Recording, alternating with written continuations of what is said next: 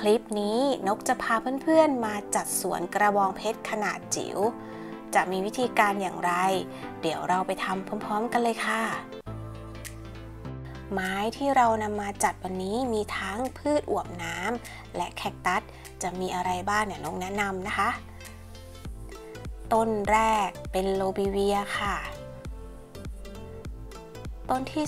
2 เป็นแอสโตนูดัมนะคะ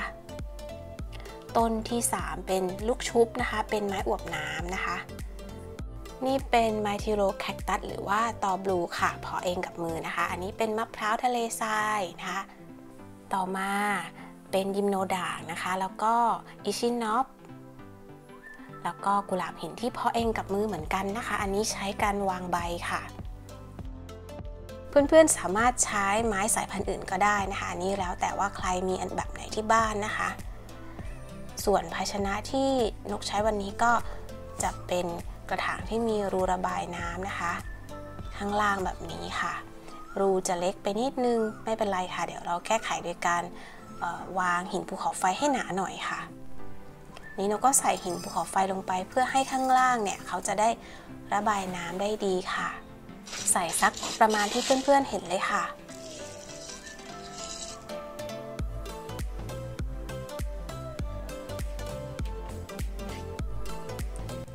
จากนั้นนะคะเราก็จะใส่ดินปลูกที่มีความโปร่งนะคะ แล้วก็ระบายน้ำได้ดี เป็นดินปลูกแคคตัสนี่แหละค่ะ ส่วนตัวนกก็ใช้ปลูกพวกพืชอวบน้ำชนิดอื่นด้วยนะคะ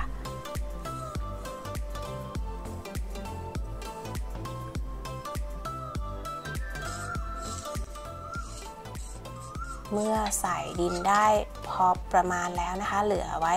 เหลือขอบกระถางไว้นิดหน่อย จากนั้นเราก็จะโรยปุ๋ยนะคะ เป็นปุ๋ยออสโมโคทหรือว่าปุ๋ยละลายช้าค่ะ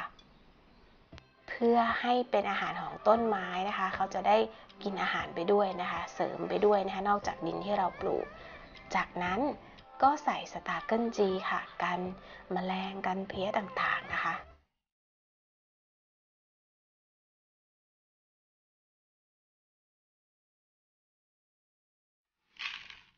จากนั้นนะคะเราก็แกะพืชหวานน้ำแล้วก็แคคตัสของเราออกนะคะเคาะดินออกเป็นบางส่วนนะคะ หรือว่าจะเคาะออกหมดก็ได้ค่ะอันนี้มีต้นขนาดเล็กก็เอาออกนะคะ เพราะว่ามะพร้าวทะเลทรายเนี่ยเขาจะมีเมล็ดหล่นแล้วก็จะขึ้นง่ายนะคะ การเลือกวันนี้นะคะก็ให้เกิดมิติเวลาที่เราปลูกลงไปนะคะ ก็จะมีทั้งต้นสูงต้นเตี้ยนะคะ แล้วก็มีใบแล้วก็มีสีค่ะ ก็แกะดินออกเป็นบางส่วนนะคะ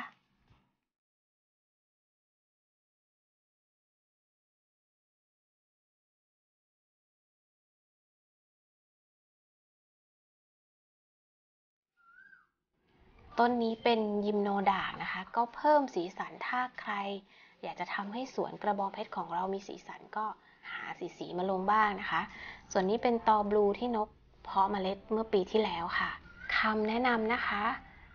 สำหรับแคคตัสเนี่ยเขาอาจจะมีหนาม เพราะฉะนั้นเราต้องระมัดระวังค่ะ อาจจะสวมถุงมือนะคะ ส่วนที่นกใช้มือจับได้เนี่ยก็เพราะว่านกรู้วิธีว่าเออเราควรจับส่วนไหนดีบางทีตำไปก็ชินไปแล้วนะคะ อันนี้ก็เป็นหินที่จะนำมาประดับค่ะ เป็นหินที่เก็บหน้าบ้านนี่แหละค่ะนำมาล้างให้สะอาดค่ะ ป้องกันเชื้อโรคด้วยนะคะตากแดดไว้ก่อน จากนั้นก็ปักหินลงไปนะคะ เพื่อให้ได้มุมมองอของหินแล้วก็ต้นไม้นะคะบางทีเรามองแค่ต้นไม้อย่างเดียวก็อาจจะดูแบบจืดๆไปนะคะ ใครจะนำหินก้อนใหญ่กว่านี้หรือว่าสีอื่นก็ได้นะคะ เราก็จะปักต้นที่มีความสูงก่อนนะคะ พื่อจะได้ดูว่าเราควรที่จะปักต้นเล็กๆแบบไหนนะคะ พยายามให้รากของเขาจมลงไปในดินนะคะ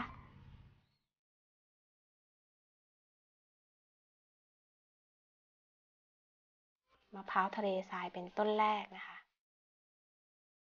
ต้นที่สองก็จะเป็นอวบน้ำนะคะ ไม้อวบน้ำ ลูกชุบค่ะ ถ้าโดนแดดมากๆเนี่ยเขาจะออกเป็นใบสีชมพูชมพูนะคะ อันนี้เป็นต้นที่นกตัดปลายแล้วมาชำต้นก็เลยยังไม่ออกยังไม่เคยโดนแดดจัดก็เลยเป็นสีเขียว จะซื้อมาจัดรวมกันแบบนี้ก็ได้นะคะ หรือว่าจะเพาะเมล็ดแล้วก็เอามาจัดรวมกันแบบนี้ก็ได้นะคะ แต่อย่างที่นกบอกไปว่า สวนถาดเนี่ยสวนจิ๋วแบบนี้นะคะ บางทีเนี่ยไม้เราต้องปลูกให้ห่างๆกันหน่อยค่ะ เพราะว่าเผื่อความเจริญเติบโตของเขาด้วยนะคะ จะได้ไม่ต้องจัดบ่อยนะคะ อาจจะสัก 2 ปีหนึ่งครั้งได้นะคะ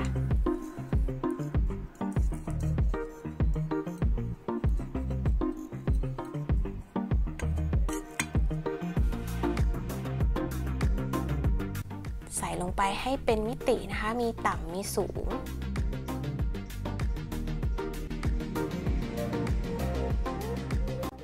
คอนเซปต์ก็เหมือนกับการปลูกแคคตัสนะคะ ดินก็เป็นดินปลูกแคคตัส เวลารดน้ำก็รดเหมือนแคคตัสนะคะ เวลาปลูกก็เหมือนกันเลยค่ะจริงๆ แล้วนะคะสวนจิ๋วแบบนี้เนี่ยเพื่อนๆสามารถออกแบบให้เป็นแบบของตัวเองก็ได้นะคะ อันนี้ก็เป็นแนวทางให้เพื่อนๆ ได้ดูกันเฉยๆค่ะ เพราะว่าแคคตัสของแต่ละบ้านก็ไม่เหมือนกัน เราก็ชอบไม่เหมือนกันด้วยนะคะนกก็ทำให้ดูว่า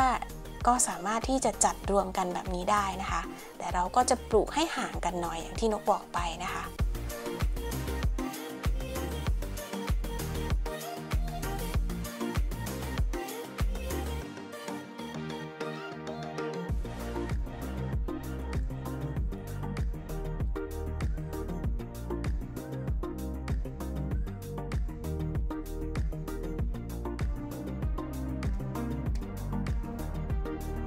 เราก็ลองดูนะคะว่าวางมุมไหนต้นไหนสวยนะคะ เราก็เปลี่ยนที่วางก็ได้เปลี่ยนที่ปลูกก็ได้ตราบใดที่เรายังไม่ได้โรยหินโรยหน้ากระถางก็สามารถเปลี่ยนได้ค่ะ ออกแบบได้นะคะเป็นส่วนของเราเอง เวลามองมาก็จะสบายตานะคะสำหรับโซนที่มีสวนถาดจิ๋วๆแบบนี้นะคะ นี่นกก็จะโรยให้ เขาเรียกว่าหินโรยหน้าเนี่ยดูเป็นสัดเป็นส่วนนะคะ ก็ทำเหมือนเป็นเขาเรียกว่ารูปของถนนนะคะ ตรงนี้ใช้ดินอะคาดามะนะคะ เป็นดินญี่ปุ่น ก็เป็นขนาดเล็กนะคะ วางโอ่งเล็กลงไปหนึ่งใบนะคะอันนี้มีซื้อตามร้านขายต้นไม้ค่ะพล็อปหรือว่าอ c เซสซอรี่หรือว่าพวกประดับตกแต่งเนี่ยก็แล้วแต่เราชอบเลยค่ะ ตามใจเจ้าของถาดเจ้าของสวนเลยนะคะ นี่เราก็จะโรยหินพยุงลำต้นค่ะ เพื่อที่เวลาที่เรารดน้ำเนี่ยดินจะได้ไม่กระเด็นไปเลอะต้นไม้ด้วยนะคะ และก็การเวลาที่เรารดน้ำลงไปแล้วเนี่ยไม้จะได้ไม่ล้มนะคะ เวลาที่เรารดน้ำเนี่ยไม้เขาก็จะโอนเอ็นง่าย ถ้าไม่มีหินโรยหน้ากระถางแบบนี้ค่ะ จริงๆ หินโรยหน้ากระถางใช้สีอื่นก็ได้นะคะ ตามที่เราชอบเลย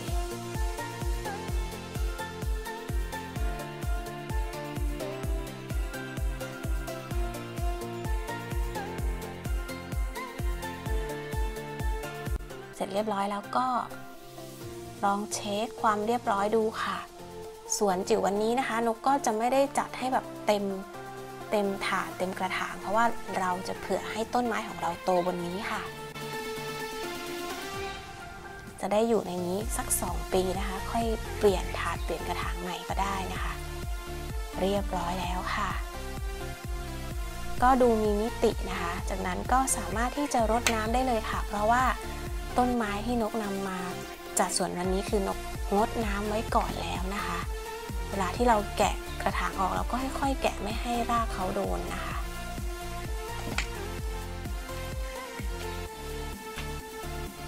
รดครั้งแรกเนี่ยไม่ต้องชุ่มมากนะคะ พอแค่หน้าดินชุ่มๆพอค่ะ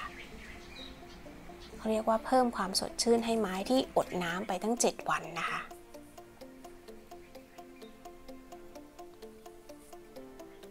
เรียบร้อยแล้วนะคะ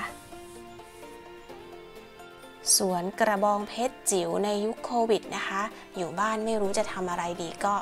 ลองมาจัดสวนจิ๋วๆแบบนี้นะคะ เอาไว้ดูเพลินๆตาค่ะ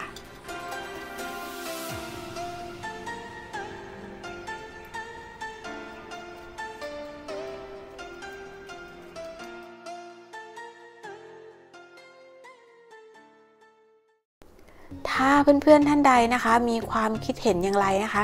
ก็สามารถคอมเมนต์ลงมาใต้คลิปได้เลยนะคะ หรืออยากให้นกทำคลิปเกี่ยวกับอะไรนะคะ ก็